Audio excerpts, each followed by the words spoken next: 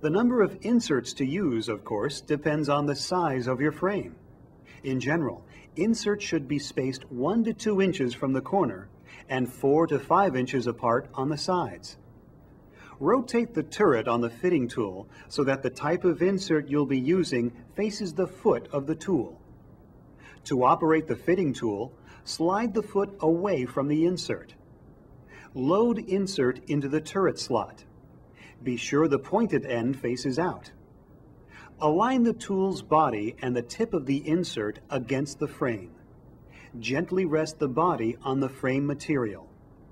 Slide the foot until the bumper rests firmly against the frame. Finally, firmly squeeze the handle, driving the insert into the wood, until the turret stops against the frame. For best results, keep the tool's body flat against the backing material while squeezing. To release, Squeeze the lock plate on the foot and rotate it off the frame. Then, slide the tool back along the top of the backing material to remove from the insert.